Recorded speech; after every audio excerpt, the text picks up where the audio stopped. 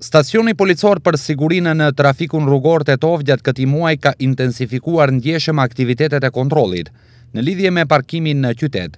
Deri dje mbi dyqind e shtatëdhjetë masa janë marrë në lidhje me parkimet e paligjshme, gjegjësisht parkimit të gabuar, kryesisht në zonën qendrore të qytetit. Brenda këtyre masave, nëntëdhjetë e tre automjete janë sanksionuar dhe ngritur nga Shërbimi Komunal i Merimangës.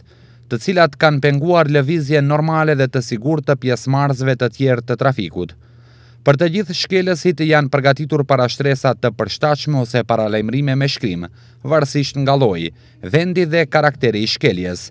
Varësisht nga kjo, ata do të përballen me gjoba prej 45 deri në 180 euro në kundërvlerë të denarit. Dhe pronarët e automjeteve të marra nga shërbimi i Merimangës, do të duhet të paguajnë një tarifë të veçantë monetare për marrjen dhe transportimin. Aktivitete të këtilla do të vazhdojnë edhe në periudhën e ardhshme, veçanërisht pasi deri në fund të muajit dhe në gjysmën e parë të muajit tjetër, është e mundur ardhja e një pjese të mërgimtarëve, gjë që do të rrisë frekuencën e përgjithshme në rrugat e Tetovës, si dhe në rrugat rajonale dhe lokale përreth.